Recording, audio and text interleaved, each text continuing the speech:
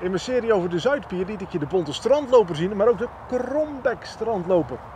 Het zijn beide niet al te grote steltlopers die je tijdens de doortrek kunt zien. De bonte strandloper meer dan de Krombek strandloper. Maar ja, ze zullen maar bij elkaar staan of juist niet bij elkaar staan. Hoe hou je ze dan uit elkaar? Dat laat ik je in dit filmpje zien. Ik begin met die Krombek strandloper. Je ziet het, het is een, een, een, een slanke steltloper. Hoe komt dat? Hij heeft een relatief lange nek. Hij staat ook wat hoog op de poten. En hij heeft een lange, gekromde snavel. Ja, natuurlijk, krombek, strandloper. De vogel die je hier ziet, is de bonte strandloper. Zoals u ziet, heeft hij haast geen nek. Dat geeft hem een wat plomper aangezicht. Hij staat ook wat minder hoog op de poten. Ook al wat plomper. En zijn snavel is korter, maar ook naar beneden gekromd. Maar veel minder gekromd dan bij de krombek strandloper.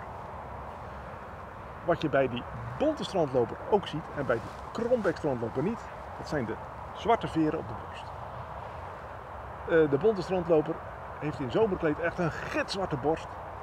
En die laatste restjes van dat gitzwart, die zie je nog op die buik. En dat ontbreekt bij die krombek strandloper. Zie hier de belangrijkste verschillen tussen krombek strandloper en bonte strandloper.